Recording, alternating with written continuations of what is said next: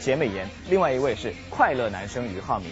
那么最近他们合作的一首歌曲《陷入爱里面》，被称为是2008年春天里最美的对唱情歌。那这首歌呢，也是受到了歌迷们的广泛的好评。而两个人靓丽的外形、默契的配合，不仅受到了歌迷朋友的喜爱，同时也深受广告商的青睐。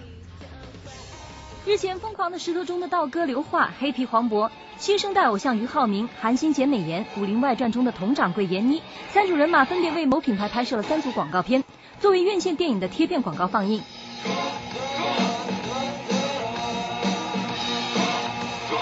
有点猛啊，情节啊！在前日举行的广告片首播仪式上，主演刘桦、黄渤、俞灏明等悉数到场，现场笑星们插科打诨，好不热闹。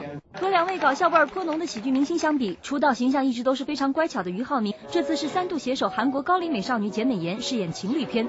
说起这个广告片，俞灏明更显示出了好男孩的本色。一对情侣，然后呃，然后那个女孩遇到了很多麻烦，这男孩就挺身而出。啊，然后就啊保护他，给他安全的那种安全感。